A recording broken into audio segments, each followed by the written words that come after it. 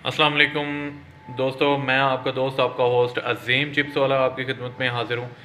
आज हम बनाना सीखेंगे बेसन की सेव, यानी कि बेसन की सवैयाँ, जो कि निमको में बहुत ज़्यादा पॉपुलर हैं, बहुत ज़्यादा खाई जाती है और बहुत ज़्यादा प्रॉफिटेबल बिज़नेस है। वो कैसे बनती हैं और आप घर में कैसे बना सकते हैं, उसकी फार्मूलेशन क्या है कमर्शियल लेवल पे। वीडियो को देखें। वीडियो अच्छी लगी, लाइक करें, शेयर करें, और अगर आप चैनल पे नए हैं तो सब्सक्राइब करना ना भूलिएगा। तो चलिए स्टार्ट करते हैं और देखते हैं बेसन की सेव, यानी कि बेसन की सवैयाँ कैसे बनती हैं। अस्सलाम वालेकुम दोस्तों। दोस्तों, आज हम बनाएँगे बेसन सेव, जिसको बेसन की सवैयाँ भी कहा जाता है, जो कि नॉर्मल हम हर जो है उसमें निमको की वैरायटी में देखते हैं। सबसे पहले मैंने दाल चना का खालस बेसन जो है छान के दो किलो इस टब में डाल लिया है। इसके अलावा किन चीज़ों की ज़रूरत होती है, आए मैं बताता हूँ। उसके बाद हम लेंगे चावल का आटा। चावल का आटा आपके जो माल होता है, उसको क्रंची करने के लिए होता है, ठीक है? ये मैंने 250 ग्राम चावल का आटा ले लिया है। उसके बाद आप लेंगे नमक। नमक हम 25 ग्राम के हिसाब से इसमें डालेंगे। उसके बाद बेकिंग पाउडर। बेकिंग पाउडर हमने लिया है एक चम्मच कह लें या जो भी आप कह लें। उसके बाद डेढ़ कप हमने ऑयल लिया है, खाने का ऑयल, ताकि आपका माल जो है वो नरम बन सके। नरम और क्रंची, इस चीज़ को याद रखना है आपने।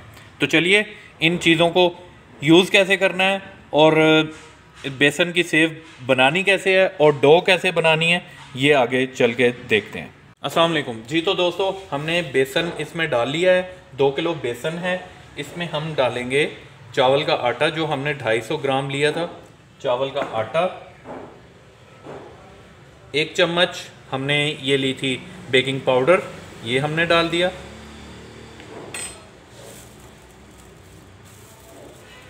और हमने 20 ग्राम 25 ग्राम के हिसाब से 50 ग्राम जो है हमने नमक डालना है। नमक आपका पाउडर फॉर्म में हो, वो ज़्यादा बेहतर है।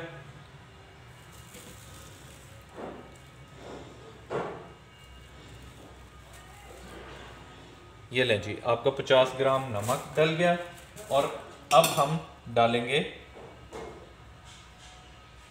ऑयल। ऑयल हम बाद में डालेंगे। पहले इसको करेंगे अच्छी तरह मिक्स ताकि ये चीज़ें सारी मिक्स हो जाए और फिर हम ऑयल को अप्लाई करेंगे। अप्लाई करेंगे। ये ये मैंने अच्छी तरह इसको जब आप मिक्स कर रहे हो तो हाथ को ऐसे मारिए कि अगर कोई गुटली हो तो आपकी नमक में या किसी बेसन में तो गुटली सारी खत्म हो जाए। ये लें जी। मिक्सिंग हो गई है। अब मैं डालूँगा ऑयल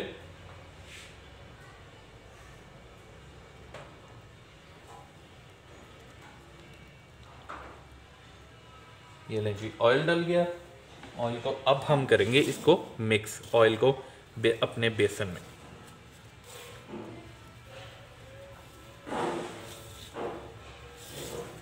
ऑयल को सबसे अच्छा जो मिक्स करने का तरीका है वो ये है कि आप दोनों हाथों को लें। पहले इसको एक हाथ से ऐसे मिक्स करें उसके बाद दोनों हाथों में बेसन को लें ऐसे करके और फिर इस तरह करके इसको अपने हाथ की मदद से ऐसे दबा के छोड़े नीचे, ताकि सारा आपका बेसन जो है वो मिक्स हो जाए। अब मैं इस बेसन को, सारे को अच्छी तरह ऐसे कर लूँ, फिर आपको मिलता हूँ और फिर हम बनाते हैं डो। तो ये लें दोस्तों ऑयल और बाकी चीज़ें सारी मैंने हाथों से मिक्स कर दी हैं। अब इसमें हम डालेंगे पानी पानी बना डाल के तो डो बनाएँगे। आपने आहिस्ता आहिस्ता पानी डालना है और आहिस्ता आहिस्ता इसकी डो बनाना शुरू करनी है ताकि डो अच्छी बन जाए पानी ज़्यादा ना पड़े ये लीजिए मैंने थोड़ा सा पानी डाला है और इसको हम अब हम डो बनाएँगे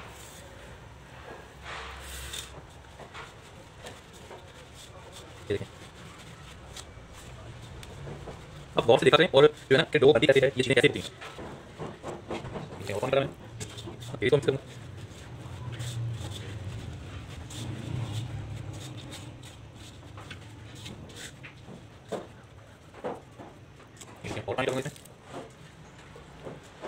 पानी जो आपका नॉर्मल पानी हो कोई ठंडा गर्म वो जो लोग ऐसी बातें करते हैं प्रोफेशनली काम नहीं करते ठंडा होना चाहिए गर्म होना चाहिए ये चीज़ ऐसे होनी चाहिए ये चीज़ होनी चाहिए ये सिर्फ़ आपको दिखाने के लिए होता है प्रोफेशनली ऐसा कुछ नहीं होता है ये लें दोस्तों थोड़ी थोड़ी सख्त होने लग गई है अब मैं नरम डो लगा के फिर आपको मिलता हूँ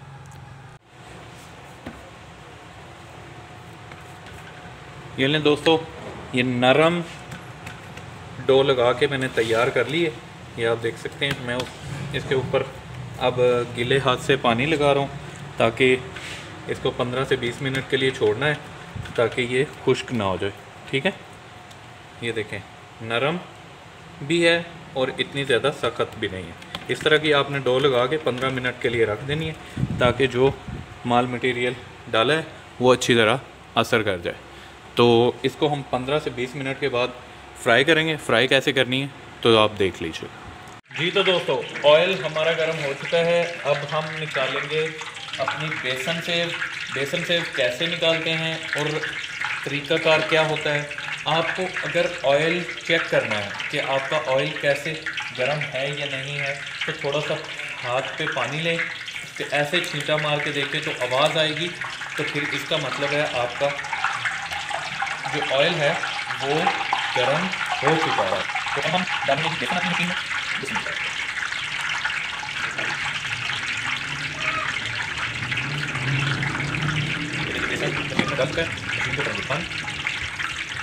और अब हम मशीन को यहाँ पे रखेंगे।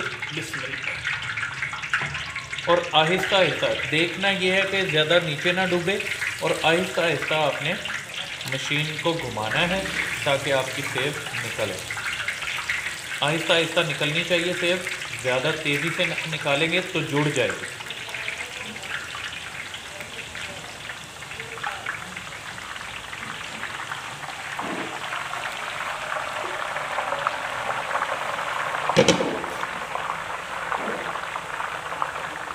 सेब को थोड़ा सा ऐसे कर दें ताकि कोई जुड़ी हुई है गाठ है तो वो देखें, बुलबुले ज़्यादा हैं अभी। अभी सेब फ्राई हो रही है और जब बुलबुले कम हो जाएँ तो एक तरफ़ से सेब को पलट पलटिएगा और दूसरी तरफ़ से दोबारा इधर से पलट के इसके ऊपर रख के तो सेब को आपने हल्का सा दबाना है और उसके बाद निकाल लेना ये आपकी सेब जो बेसन सेब है, वो बिल्कुल तैयार है। ये आप देख सकते हैं कैसा कलर है। और बाद में आपको मैं चेक करवाऊँगा कि कितनी क्रंची और टेस्टी है। इसको ये हम साइड पे रखते हैं। पहले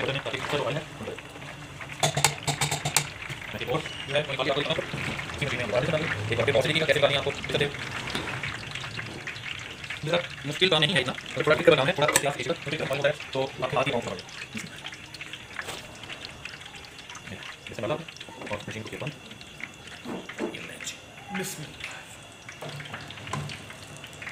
मशीन को गौर से देखना है कि नीचे ज़्यादा ना डूबे। बस हल्की सी डूब जाए कोई मसला नहीं और आहिस्ता आहिस्ता घुमाना है मशीन को। ज़्यादा तेज़ नहीं घुमाना। नहीं तो ज़्यादा निकलेगी और ज़्यादा आपस में जल्दी जुड़ जाएगी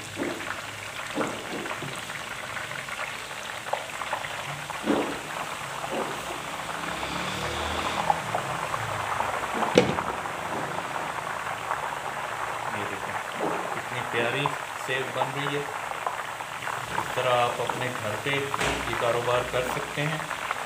बड़ा ही आसान है। ये देखें थोड़ा सा बुलबुले कम हुए। मैं इधर से पलट दूँगा इसको। दूसरी साइड पे और इधर से फिर दूसरी साइड पे पलटूँगा। और इसको थोड़ा सा मैं हल्का सा दबाऊँगा ताकि सबको अच्छी तरह सेक लग जाए, फ्राई हो जाए। और उसके बाद इसको मैं निकाल ये ले, आपकी बेसन से बिल्कुल तैयार।